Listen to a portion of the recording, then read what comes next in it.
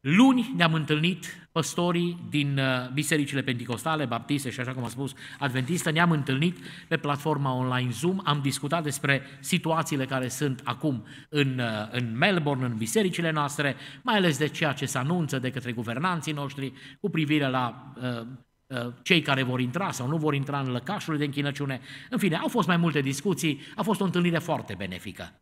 Ne-am rugat, am stat înaintea Domnului, a fost un moment foarte edificator pentru noi.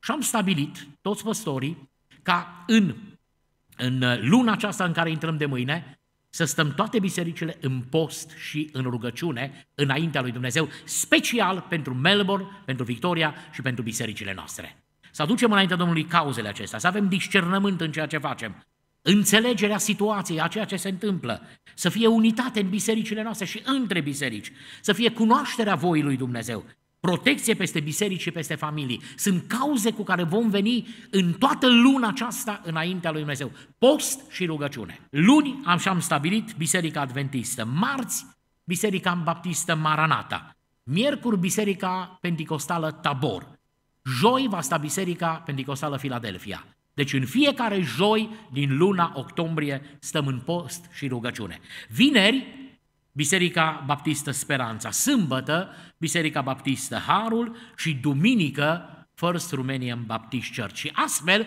am acoperit cu bisericile acestea care s-au angrenat în lucrarea aceasta, am acoperit toată săptămâna și apoi toată luna octombrie. Repet, frați și surori, în fiecare zi de joi, joi 7 octombrie, 14 octombrie, 21 octombrie și 28 octombrie, Biserica Filadelfia stă în post și rugăciune înaintea lui Dumnezeu pentru izbăvire, pentru o, ca Dumnezeu să intervină, să avem un discernământ, să avem înțelegere, să avem unitate, să avem cunoaștere și protecția Domnului să fie peste bisericile noastre, peste casele noastre și peste toți cei dragi ai noștri. Dumnezeul nostru poate. Haideți să tratăm cu seriozitate.